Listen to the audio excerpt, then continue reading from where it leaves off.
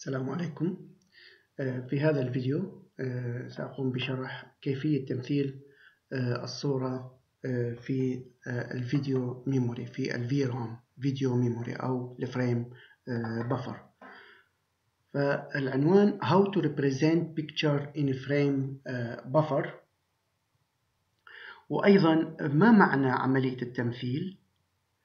ما معنى عندما نقول representation picture in frame buffer representation of graphic picture in frame buffer ماذا يعني means how many total number of bytes نرمز لها مثلا t العدد الكلي لل bytes لل bytes سواء مقاسة بال bytes أو kilo bytes أو mega bytes giga bytes that will be allocated هذا العدد الإجمالي ال total T الذي سيتم تخصيصه from أو حجزه من ال frame buffer to store the picture. That is depend on the following. وطبعا عملية حساب الحجم الكلي قياس الحجم الكلي للصورة لأي بيكتشر يعتمد على ما يلي. أولا في البدء نقوم بحساب أبعاد الصورة dimension of the picture. يعني حساب الأبعاد الصورة المقصود بها عدد الأعمدة وعدد الصفوف. يعني عدد النقاط عدد النقاط التي تحتويها الصورة. فال size of the picture S equal to the number of row في number of uh, column. يعني مثلا لو نتكلم عن صورة بحجم ال dimension 100 column 100 في 120 فكم نقطة موجودة هنا؟ نقول 100 في 120 يساوي 12000 بيكسل 12000 نقطة. هذه الصورة أبعادها هي 12000 نقطة. بعد حساب أبعاد الصورة والمقاسة بالبيكسل كم بيكسل عدد الأعمدة في الصفوف نقوم بحساب عدد عدد ال bits أو ال required bits التي يحتاجها تمثيل كل نقطة كل بيكسل من نقاط الصورة. فلو مثلا هذه الصورة إذا 100 عمود في 120 row. كان عدد البيكسل لها 100 في 120 قلنا 12000 بيكسل. لو كان مثلا كل بيكسل تحتاج إلى بايت واحد فمعنى هذا أن حجم الصورة عند تخزينها في ال frame buffer ستحتاج إلى 12000 بايت. أما إذا كان مثلا كل بيكسل من نقاط كل نقطة من نقاط الصورة تحتاج إلى نصف بايت أي 4 بت 4 بت فمعنى هذا أن حجم الصورة سيساوي 6000 بايت. 120 100 في 120 في نصف. هنا عدد النقاط. كل نقطة تحتاج إلى نصف بايت. فمعنى هذا عدد ال bytes الأصلية ال total الإجمالي لحجم الصورة 6000 6000 بايت هنا 100 في 120 هذه dimension عدد الأعمدة في عدد الصفوف. لو كان كل نقطة تحتاج إلى بايت واحد فمعناها 12000 بايت لو كان نقطة كل نقطة تحتاج إلى نصف بايت فمعنى هذا حجم الصورة سيتم تخزينه والذي سيتم تخزينه يحتاج إلى 6000 بايت كيف نحسب الآن عدد البت التي نحتاجها لتمثيل كل نقطة؟ نعم.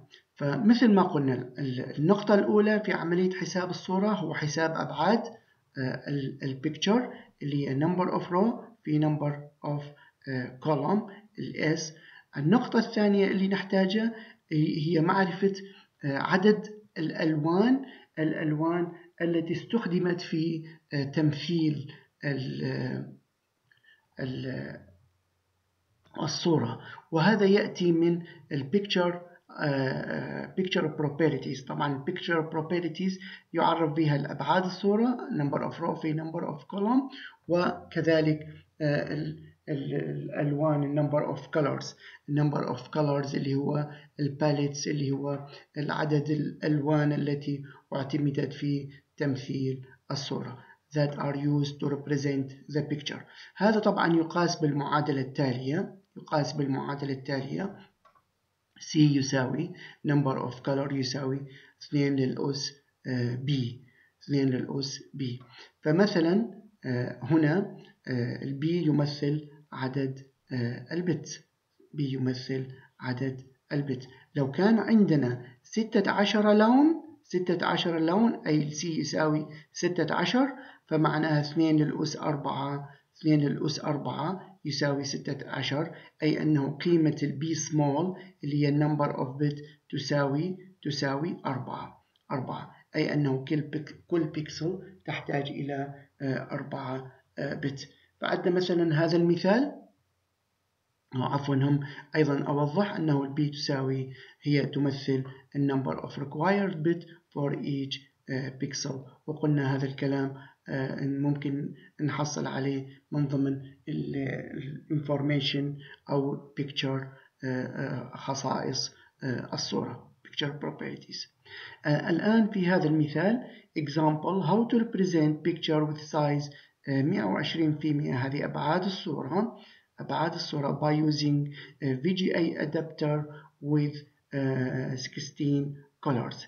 إذا كان عدد الألوان كان عدد الألوان اللي هي من ضمن خصائص خصائص الصورة أوكي أو إمكانيات الأدابتر 16 لون.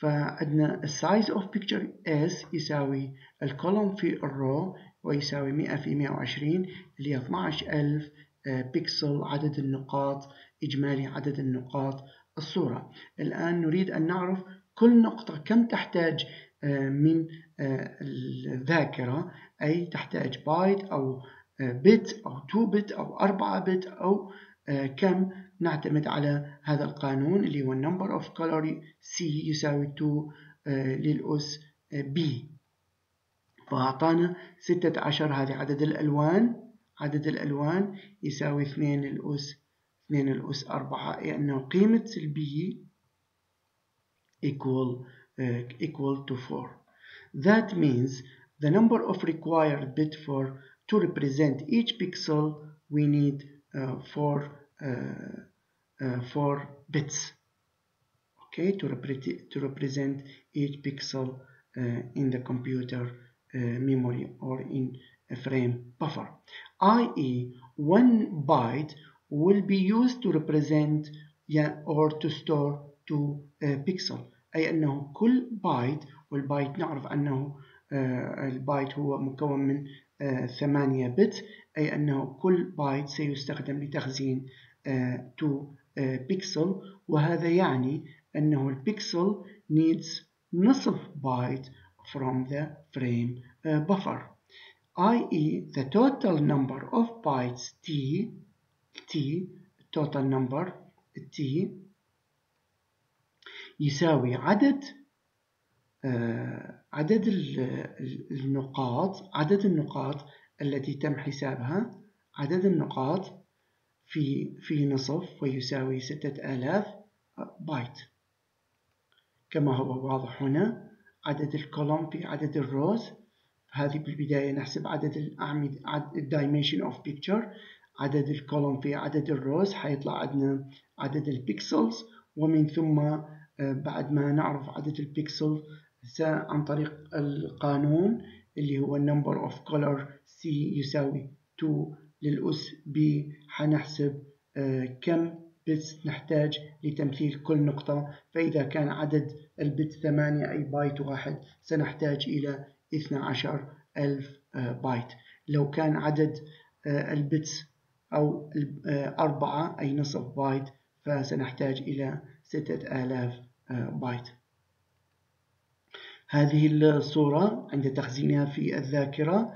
فعندنا ال row 1 كل بايت سيتم سيخزن به 2 بيكسل أي أنه بيكسل 1 و 2 ستخزن في البايت 1 okay؟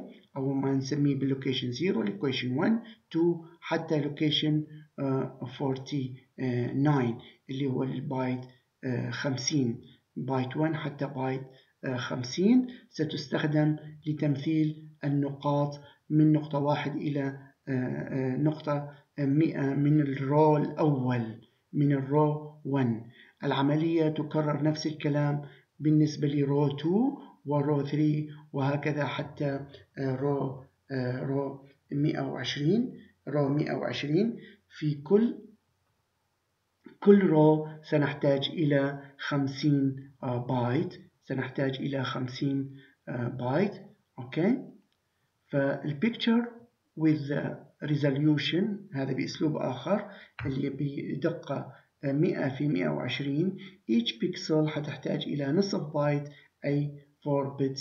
معنى هذا 120 120 في